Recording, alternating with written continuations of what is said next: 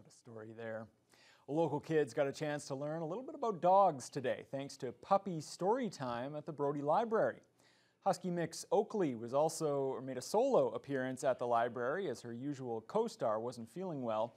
The dozens of kids in attendance were thrilled to hang out with a six-month-old rescue while enjoying a children's story.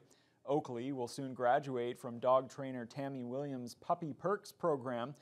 Bringing the puppies to the library helps them get used to being around kids and gives the kids a chance to learn more about the dogs. The kids, we like to talk a lot about um, dog safety and what to do um, or not do when you're approaching a dog or when a dog's approaching you.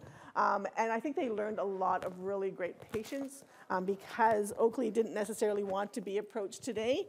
Um, and they were really good about staying back and letting her um, decide whether she wanted to interact. Dogs put their ears up when they're happy, and they put them down when they just like want you to go away, and they get a little bit scared or startled by little kids. And if they're jumping up on you, you need to look like a tree and look very boring so it goes off.